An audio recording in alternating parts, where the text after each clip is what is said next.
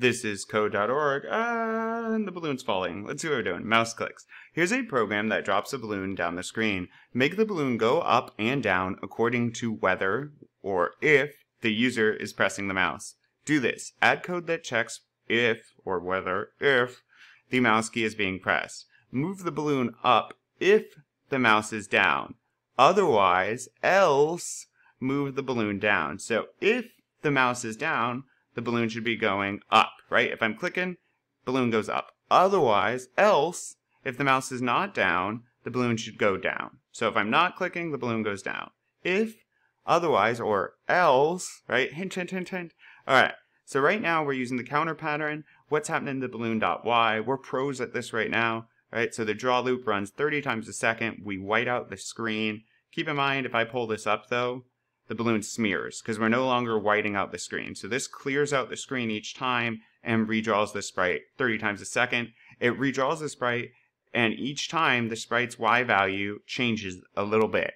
So what this says is the this is the counter pattern. This is the balloon.y. So the balloon's Y property has a new value.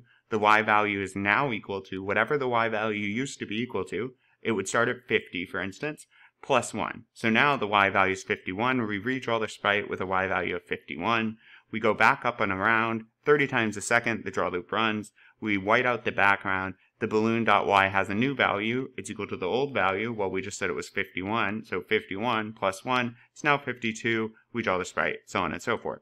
So what they're saying is we want it to go up if I'm pressing the mouse on the screen. So I'm going to do this. If I'm what? If the mouse is down, I need to go up.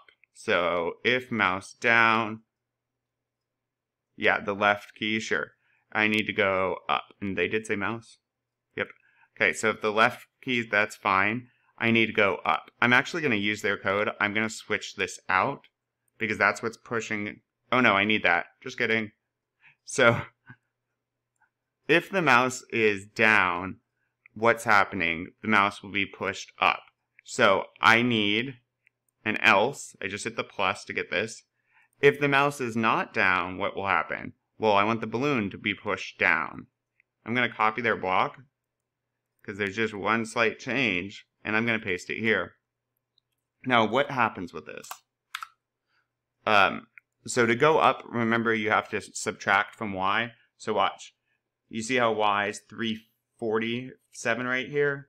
Zoop, y goes down if I go up. So to make something move up, you subtract from y. Kind of weird. Now what's happening? This is a conditional statement. We're going to get a boolean. So we're asking the computer, hey, computer, is the left button of the mouse currently down? The computer will either say true or false. So if it says true, then the code right here and this blue mouthy thing runs. So this line of code would run. And like we said, what would this line of code do? Well, instead of adding to balloon.y, right, it says old value of balloon.y minus 1 is the new value. And minusing 1 would make it go up. And it would never run this. So if this is true, this code runs. This if part runs. This could not run and would not run. However, if this is false, I am not holding the left mouse button down. This is false. Well, okay, we're asking the computer, hey computer, if left button down, false. Oh, okay, well then otherwise, right, then otherwise, all right, else, else, if that button's not down, okay, we need to change the Y still, but we're going to add to it, which pushes it down. Always, always, always, either this line of code runs because the mouse button's down, or this line of code runs because it's not down. Never, ever, ever will both run, right? So if this is false, it cannot run this code, it has to run this code. If this is true, it has to run this code. It cannot run that code. And then it just continues onward. Let's test. So no mouse down for me. The balloon drops. Click, click, click, click, click, click, click, click.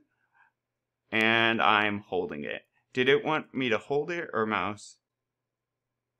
The mouse is down, so I can just hold it. Mm.